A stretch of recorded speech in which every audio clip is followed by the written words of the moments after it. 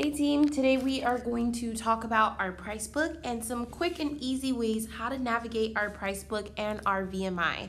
So starting off, currently you know exactly where we are. We're on the invoice. It lets us know that on the left hand side. But how do I add items into an invoice? Same way you would on an estimate. Simply click on the add items button under summary. And when I click on the add items button, what it does is takes me directly into my price book. Now, there's a couple of different ways to view your price book, and the cool ways are on the right hand side. Currently, we're viewing it with the category pictures, but if you're more of a list person, to the left hand side of these little square boxes is going to be three lines. And if I click on those three lines, those three lines are going to allow me to see things in a list form. So you're able to actually see the list and I'm able to actually click on which categories I want and see how many subcategories live within that list. So if I wanted to, I can click on air conditioning and then it takes me into the list of all the subcategories and I can choose, let's say, general repairs, and it takes me into a list of all of those general repairs. Now, maybe you're saying, hey, I don't like that list.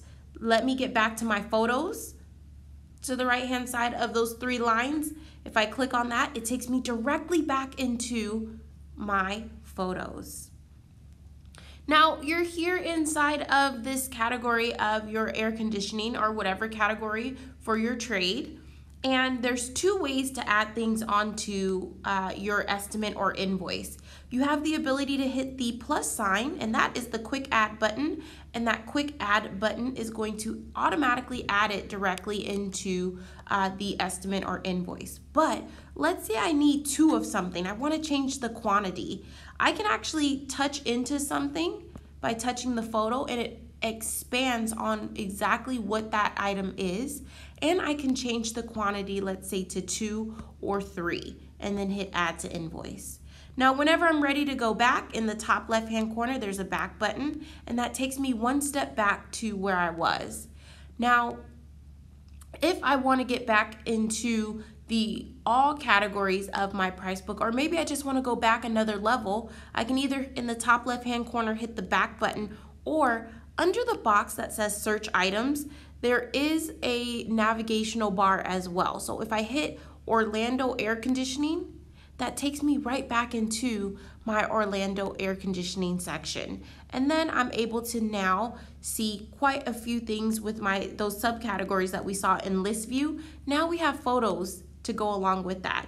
So if I wanted to, I can then just go into, let's say IAQ and add some more stuff. So that's how you navigate directly within the price book. How do, uh, once I'm done in the top right hand corner, I hit done and that takes me directly back into where I was prior to that, which is the invoice. Now, you may be asking yourself, okay, Brittani, how do I search the price book via words? Now I'm gonna go back into the price book and hit add items and you see this beautiful search items box. If I click into that search items box, to the left hand side you'll notice the microphone. You can talk to text depending if you have an accent or not. Um, and you know Siri sometimes doesn't do well with accents, uh, so be mindful of that. But I can search via keywords. And when you're searching via keywords, you want to keep in mind that less is more. So when you're searching via keywords, you want to just say maybe fan and then hit that search magnifying glass on the right hand side. That is going to bring you to every category. So you'll see the category at first that has fan in it. And then as I scroll down, everything that has the word fan in it. So I'm able to see any equipment as I'm going down. I'm able to see all the fans that we have in stock.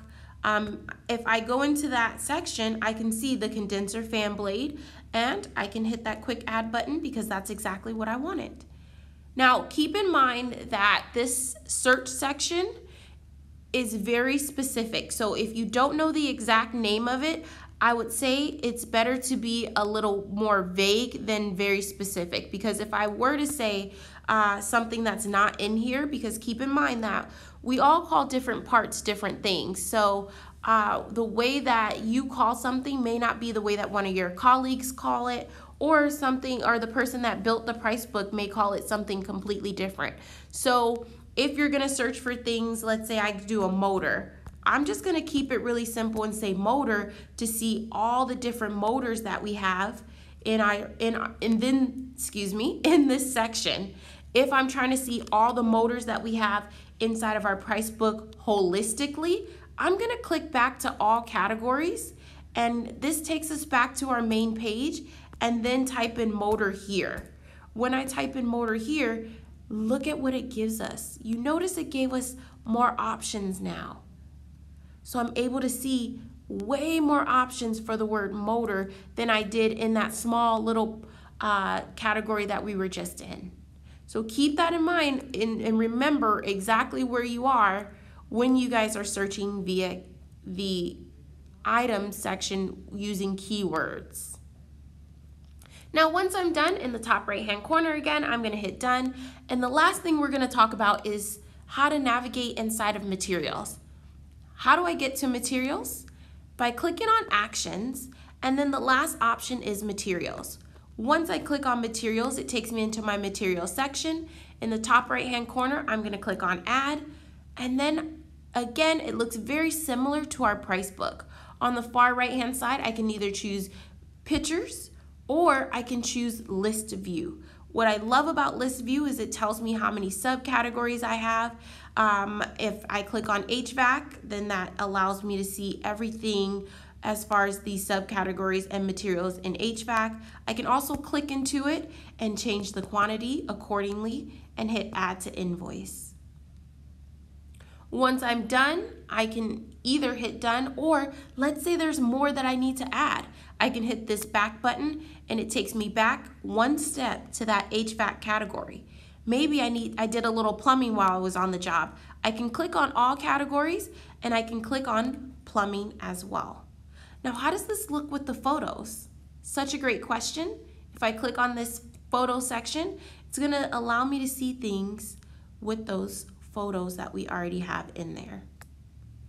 Another cool thing to keep in mind is our VMI lives under the material section as well. When I click on VMI, I'm able to see all the photos associated with whatever category I'd like.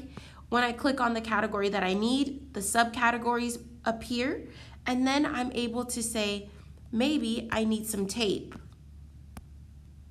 Go in here, I see this beautiful silver tape. I can click in here, change the quantity, but if it's only one, then I hit add to invoice and it appears on our materials invoice. Once you're done adding all your materials, you're gonna hit done in the top right hand corner and take a look at your invoice.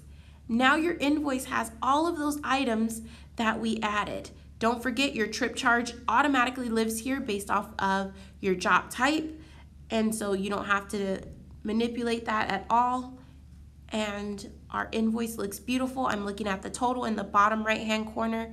When you're ready to do anything else, you have the next steps right at your fingertips. Thanks so much for joining this amazing video. If you have any questions, comments, or concerns, please reach out to your manager or Ryan and they'll be able to help you. Have a great day.